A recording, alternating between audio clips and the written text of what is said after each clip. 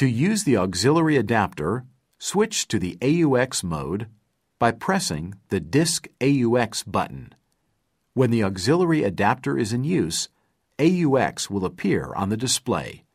To adjust the volume, turn the power volume knob.